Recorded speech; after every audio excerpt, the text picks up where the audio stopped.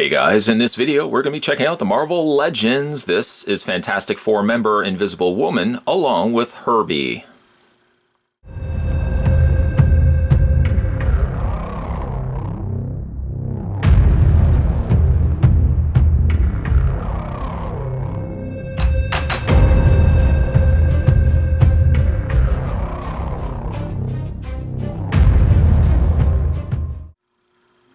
Invisible Woman, whose real name is Susan Storm Richards, first debuted back in Fantastic Four number 1 back in 1961. Herbie, on the other hand, which stands for Humanoid Experimental Robot B-Type Integrated Electronics, debuted a little bit later in Fantastic Four number 209. So how tall are the figures exactly? Invisible Woman stands a little over 6 inches tall. Herbie, on the other hand, is a little bit different. He stands exactly six inches tall, but if you technically don't include the display stand he stands on, he's closer to about four inches. They don't come with really any accessories except for one. Invisible Woman comes with one extra hand, which has a slight translucency to it that looks like it's been washed with additional black paint. Um, the term sloppy may resonate a little bit over the course of this review, as unfortunately, while I think Herbie's pretty good, Invisible Woman I find is a little on the sloppy side, and it starts with the interchangeable hand. While the hand is decent enough, I feel like the slight translucency to the black almost reads a little bit messier and just clumsily added rather than any sort of concise, uh, you know, intentions. It does have a clear peg, so I can only tell you that you have to be a little bit careful that this clear plastic doesn't break on you over the course of time. And unfortunately, it looks like her finger uh, looks like it's slightly bent getting it out of packaging.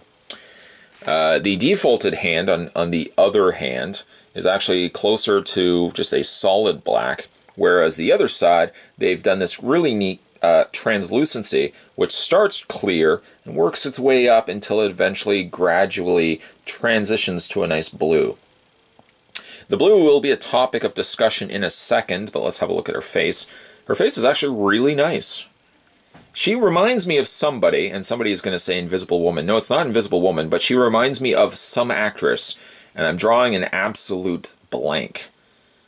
Maybe somebody can tell me down below. But the eyes are nicely uh, painted. She has a very narrow face with very high cheekbones. The hair is sculpted also quite well too. Face overall and hair overall is pretty clean.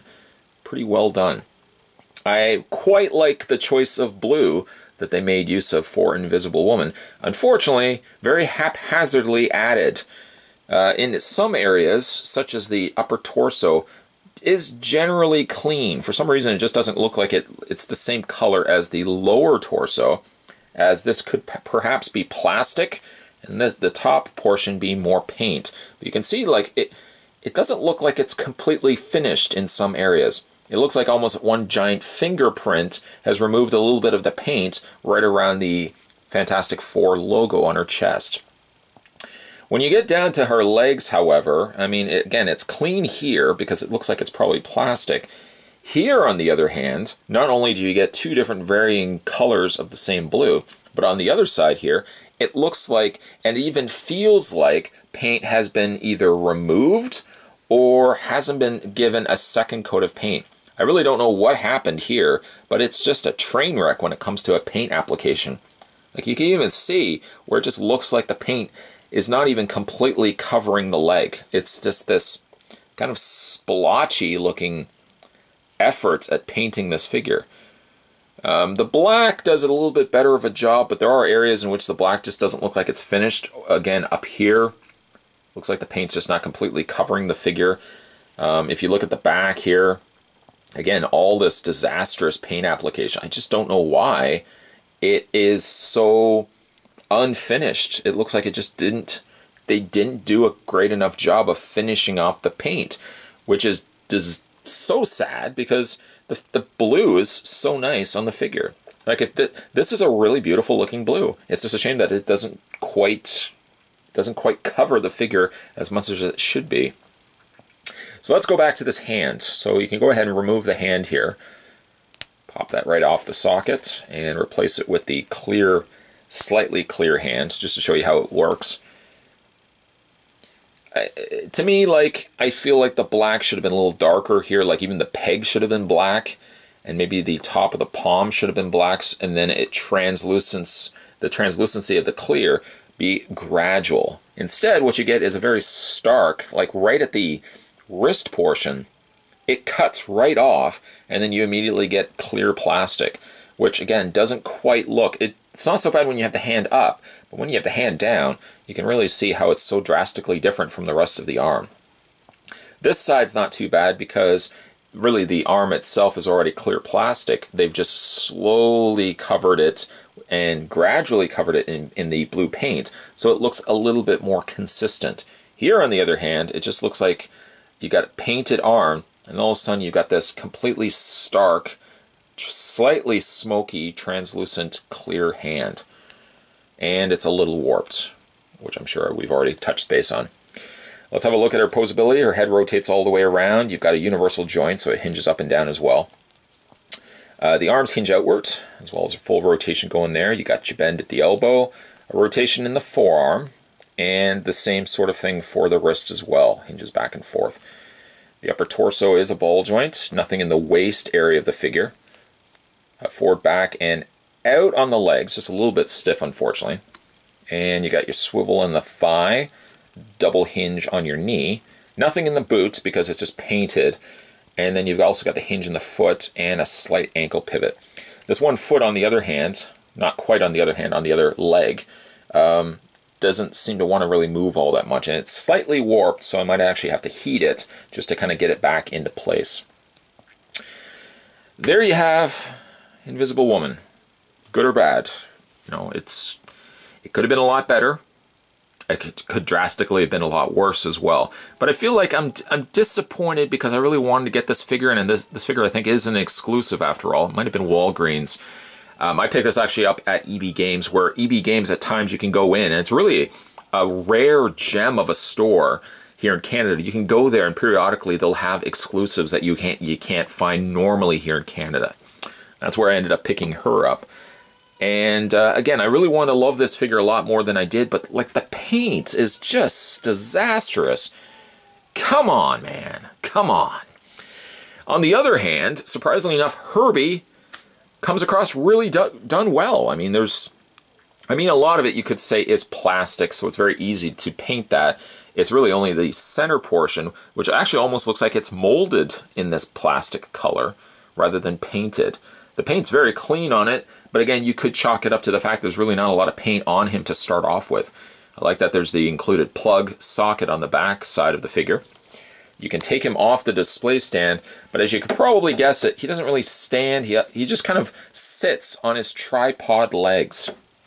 And if you get him just right, he stands perfectly fine, but it makes no sense really having the figure just standing on the ground. You, of course, want to be having him levitating as well. Uh, his face sculpt, if you could call it a face, is done pretty nicely. Not nearly the wreckage that's over there with the Invisible Woman. He actually comes across quite clean and very pristine, in fact. His articulation is very limited. That's about all you can really do with the figure. He just sits on a ball joint, so I mean, you can get some interesting, slight angled poses if he's confused with something.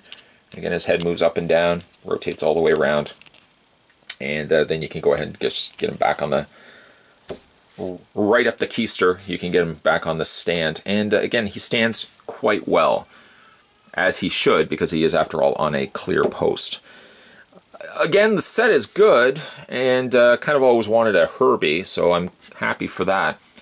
But unfortunately, I just again feel like the Invisible one rushed, corners cut, maybe not completely realized as to what they wanted to do with the figure, or they had good intentions with the figure, and I just so happened to get one that has just the bad egg of the just bad egg of the lot. I got the one that has the bad paint on the legs and again the hand is just a little bit awkwardly painted doesn't quite gel with the rest of the arm other than that the face is good and I really like the blue just wish that the blue was a little bit more finished that's the kind of the takeaway from this review unfinished blue Today, though, we were checking out the Marvel Legends Invisible Woman along with Herbie.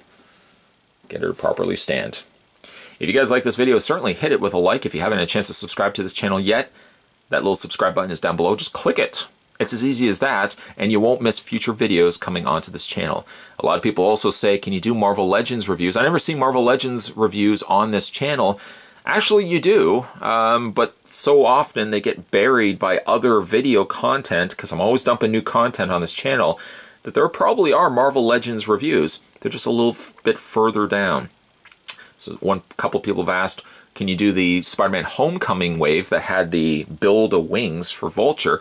I've actually already done those reviews, so what I would probably say is either go on to the main channel, the main channel homepage, and look up, or even just in the search area of YouTube, just type in this channel's name, Review Spot, and then type in the Marvel Legends, and you'll probably see a whole ton of them that you probably didn't see before. Or one better, you can also head over to the Marvel Legends playlist, and everything I've ever all ever done is actually in there in the playlist, so you can check that out as well.